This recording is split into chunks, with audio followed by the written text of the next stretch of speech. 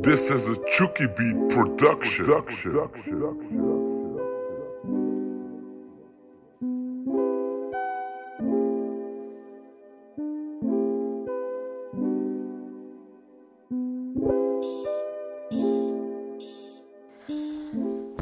Hello, ladies and gentlemen, boys and girls, and welcome back to Copeland Visuals. Today, we're talking about them camera dials that are going to let you take control of your camera.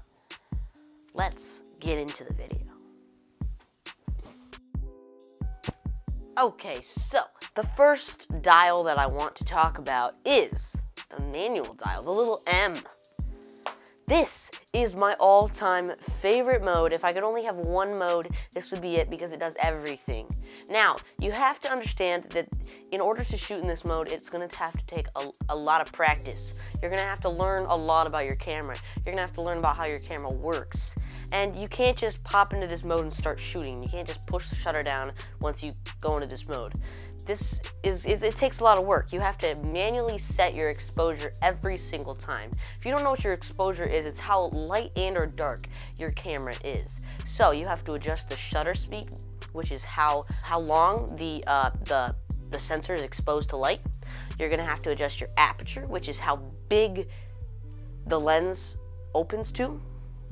Some lenses have different higher apertures than others. And the last thing you're gonna have to adjust is the ISO, which is how sensitive your sensor is to light. You're gonna have to adjust all of those things every single time you take a picture because the light is always changing.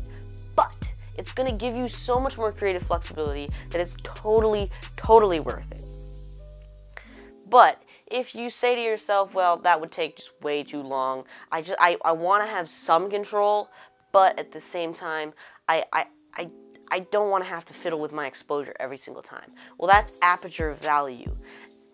Aperture value I shoot in the most because it changes everything it changes your shutter speed but everything else stays the same so if you're out shooting let's just say you're shooting uh, some flowers and you don't you want the background blurry, well you can turn down your aperture, which means the lens is going to open up wider, it's going to let in more light. It's also going to create a shallower depth of field, which is going to make that background blurry. So, it allows you to take control of your camera, but you still don't have to worry about your exposure changing every single time. I shoot in this mode the most just because it gives you creative flexibility, but at the same time, it doesn't stop you from shooting to have to change your exposure every single time. The next thing I want to talk about is time value. What this is going to be good for is when you're shooting sports, that sort of thing. It's going to allow you to uh, get the highest shutter speed possible so that your background, if, if, your, if your subject is moving, it's not going to be blurry.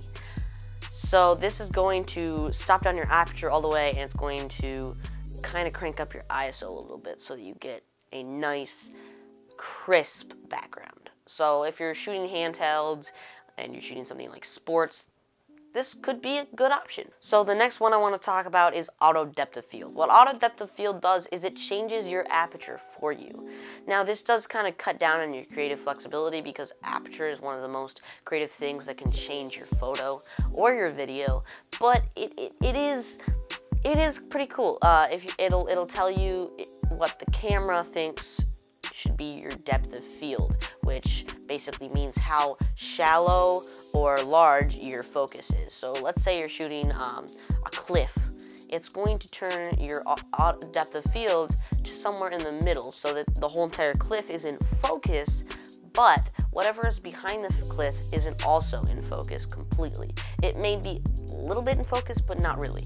Let's say you're shooting a flower, hopefully it's going to blur the background completely so that all you see is the flower.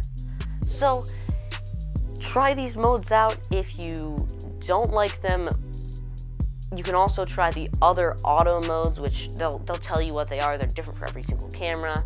Um, some universal ones is, the, of course, the flower, which is the macro mode, which basically, it, it like I said, it, it, blurs the background. Um, there's also the mountain mode, which is going to make everything focus. There's the sports mode, which just is basically time value. All that stuff is also there, but each camera is different. I'm not going to go over those because uh, like I said, each camera is different. So if you did enjoy this episode and if it helped you learning about your camera just a little bit, like and subscribe down below. See ya in the next video. I'm gonna edit this.